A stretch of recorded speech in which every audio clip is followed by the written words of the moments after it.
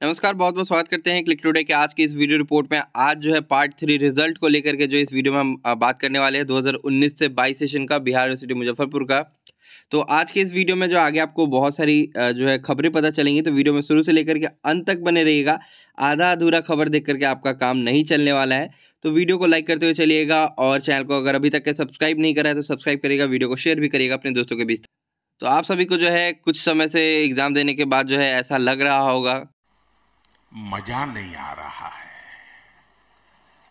तो खैर, मज़ा आएगा भी कैसे? क्योंकि आपका पार्ट थ्री का अभी तक के रिज़ल्ट जारी नहीं हुआ है और इस यूनिवर्सिटी की जो है ट्विस्ट एंड टर्न्स लाने की हमेशा से आदत रही है तो आपकी रिज़ल्ट में भी जो ट्विस्ट एंड टर्न्स देखने को मिलेंगे।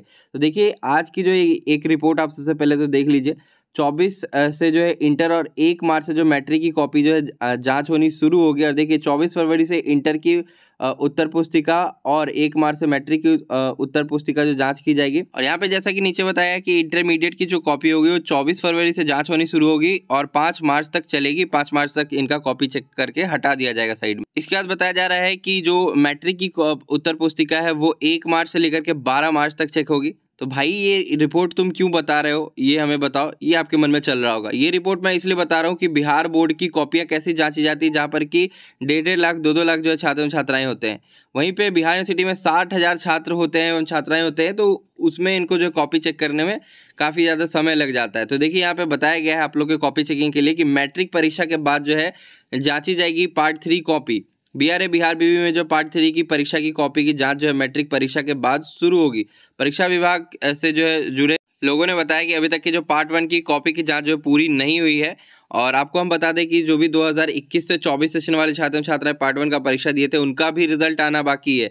इनका रिज़ल्ट जो है, फरवरी के 25 तारीख को जारी किया जाना है, ऐसा जो है, प्रस्तावित डेट बताया गया था। हालाँकि ये फरवरी में जारी ना होकर के मार्च में जारी हो क्योंकि अभी तक इनका कॉपी चेकिंग का कार्य ही जो है, चल रहा है।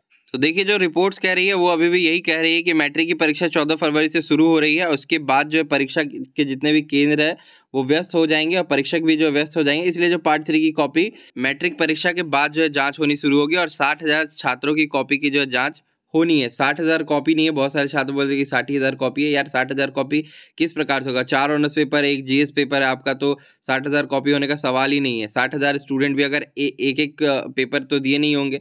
उन्होंने चार चार पेपर का दिया तो उसके हिसाब से आप कैलकुलेशन कर लीजिए। चार पाँच पेपर का जो एग्जामिनेशन दिया होगा, किन्हीं के सब्जेक्ट में प्रैक्टिकल होगा तो वो अलग से जो उनको प्रैक्टिकल एग्ज़ाम देना पड़ा होगा। इसलिए ज़्यादा सोचने का नहीं है, आपका जो रिज़ल्ट है वो अप्रैल माह में ही जो है प्रस्तावित मान के चलिए कि है। आपका रिज़ल्ट जो है अप्रैल में ही आएगा। एक छात्र पूछ रहा था कि बताइए 2018 से 21 वालों का रिज़ल्ट कब आया था?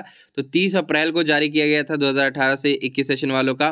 2017 से 20 वालों का जो है दिसंबर में परीक्षा हुआ था पार्ट थ्री का, और उनका जो रिज़ल्ट है वो 29 फरवरी को जो है रिलीज़ हुआ था, उनका रिज़ल्ट। तो आप लोग जो परेशानी हुई है, आपका जो बीएड वगैरह के लिए आप लोग सोच रहे हैं कि हमारा उसमें शायद एंट्रेंस फॉर्म ना भर पाए तो ये सब के लिए आप चिंता छोड़ दीजिए, आपका फॉर्म भी भरा जाएगा। रही बात जो स्टूडेंट सोच रहे हैं कि हम रेगुलर है, बिल्कुल पास होते आ रहे हैं और हमें जो एमबीए में एडमिशन लेना है, इस साल हो पाएगा कि नहीं हो पाएगा, सब हो पाएगा क्योंकि जून, जुलाई से ही आप लोगों का सेशन शुरू होता है और जो भी नोटिफिकेशन आउट होते हैं वो अप्रैल के मंथ में आउट हो जाते हैं। और आपको मई तक जो फॉर्म वगैरह भरा करके एग्ज़ाम वगैरह ले लिया जाएगा, उसके बाद एडमिशन की प्रोसेस शुरू होंगी।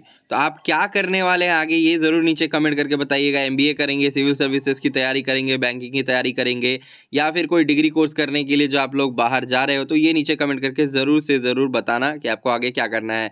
और आगे हमारे साथ जो ऐसे ही बने रहिए, वीडियो को लाइक करते हुए चलिए और चैनल को सब्सक्राइब करके रखिएगा।